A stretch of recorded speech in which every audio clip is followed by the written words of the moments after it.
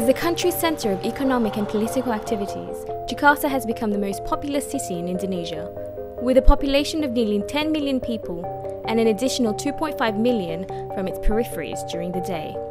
With nearly 10 million vehicles on the road daily and a limited amount of public transportation, Jakarta experiences chronic traffic congestion. Several reports estimate the loss due to the traffic congestion in Jakarta is between 1 to 3 billion US dollars. While according to a study conducted by Japan International Cooperation Agency in 2004, Jakarta will face a total road jam by 2020 if the transportation infrastructure is not improved.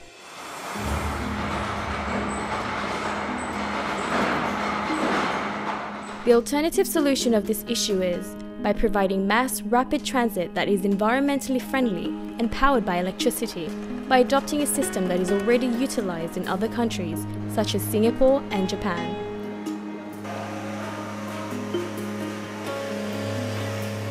Currently, I'm in the one of the access tunnel to mass rapid transportation system. This mega project will lead Indonesia transportation system to new level subway. So this is my report.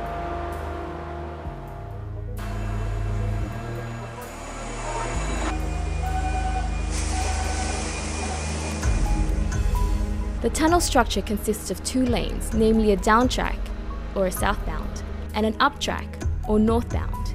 This facility construction will be conducted by a tunnel boring machine, or also known as TBM.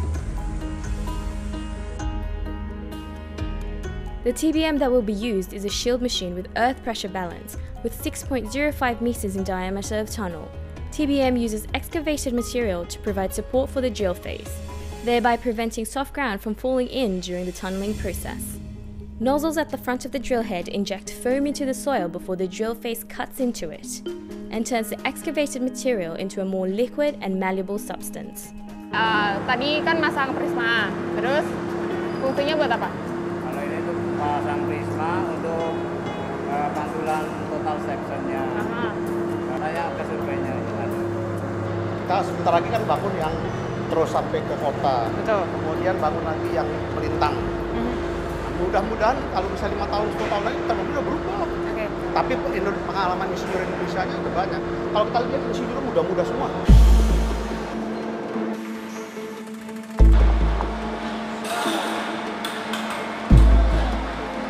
The rail-based MRT Jakarta will be stretched over 110.8 kilometers, consisting of a south-north corridor of about 23.8 kilometers and an east-west corridor of about 87 kilometers. The south-north corridor that stretches from Lebak Bulus to Kampung Bandan will be carried out in two phases. Phase 1 will link Lebak Bulus and Bundaran Hotel Indonesia over 15.7 kilometers and consists of 13 stations and is targeted to start operating by 2018. Phase 2 will expand the previous phase from Bundaran Hotel Indonesia to Kampung Bandan of over 8.1 kilometers of railway, with construction to be initiated before Phase 1 starts operating.